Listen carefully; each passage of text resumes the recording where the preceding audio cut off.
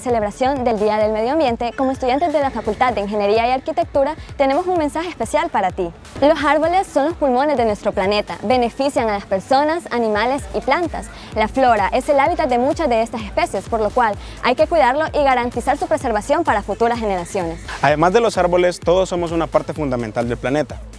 Si todos los insectos desaparecieran, en menos de 50 años no quedará ni un rastro de vida.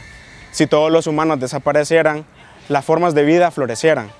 Tú eres un invitado, por eso deja la tierra un poco más bonita, un poco más amable, un poco más perfumada, un poco más limpia, para todos aquellos huéspedes desconocidos que vendrán después de ti. El agua es fundamental para nuestra existencia y es responsabilidad nuestra cuidarla. Escucha lo siguiente. El agua es esencial para que los animales, las plantas, los seres humanos y todas las formas conocidas de vida puedan existir.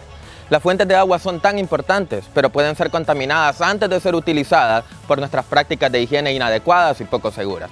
Recuerda, el agua limpia es un bien precioso, pero escaso. Protegiendo el agua, protegemos nuestro futuro. ¿Has escuchado hablar del cambio climático? Ten en cuenta lo siguiente. Se le conoce como cambio climático a la variación global del clima sobre la Tierra.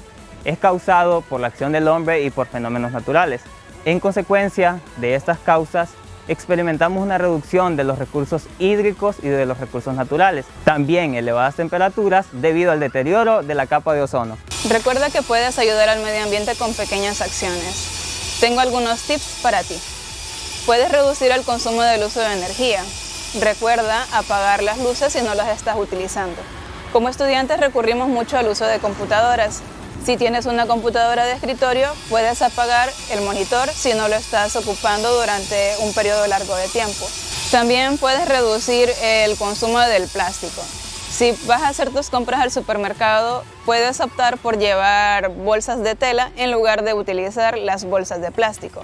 Separar tus desechos en plástico, las botellas de plástico, latas, basura orgánica y actualmente también puedes separar lo que son tus mascarillas. El cuidado del medio ambiente se ha convertido en una prioridad para la sociedad, pues los recursos naturales no son ilimitados y son imprescindibles para la supervivencia humana. Recuerda, un mundo mejor es posible con un pensamiento verde.